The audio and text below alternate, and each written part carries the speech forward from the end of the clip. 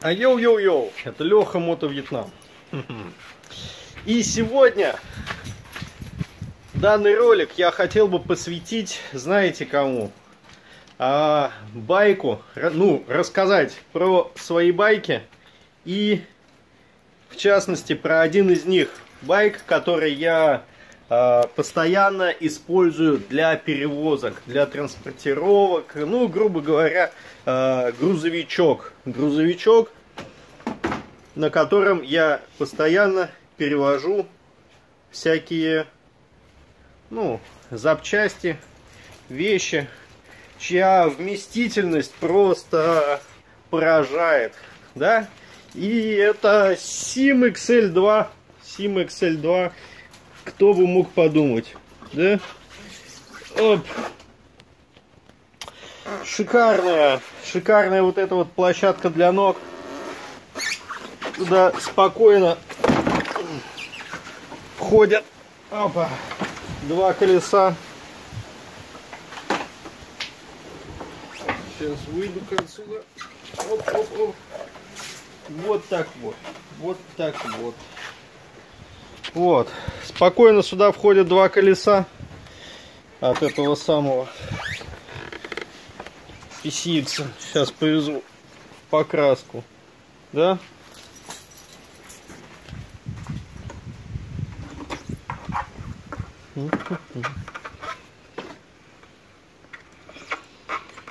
Ну хорош. Кроме того,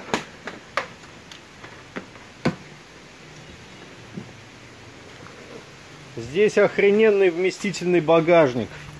Что мы в багажник засунем? Где же, где же, где же, где же, где же, где же?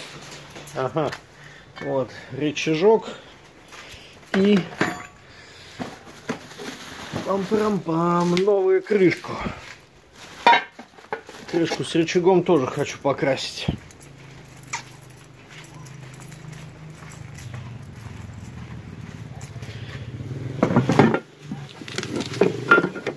Так, влезли.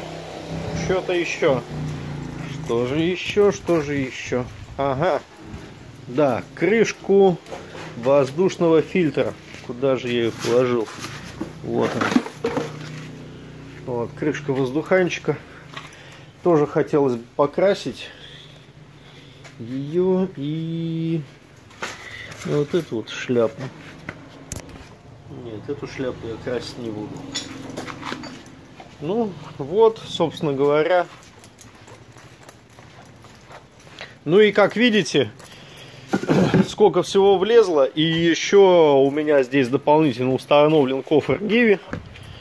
Когда же Гиви мне уже ай, платить будет за рекламу, непонятно. Да. Ну, не обращайте внимания на отсутствие пластика. Как бы нужно было для другого байка, я его сдернул. Вот.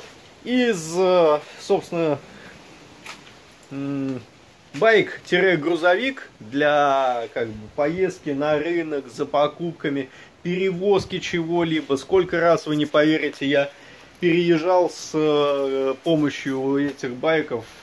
Если вам нужен байк вместительный, большой и для перевозки там грузов или чего-либо, настоятельно рекомендую обратить свое внимание на Sim XL2. Sim XL2 прекрасный аппарат, такой мини-грузовичок. Йоу-йоу-йоу, это Леха Мотовьетнам. Ха-ха!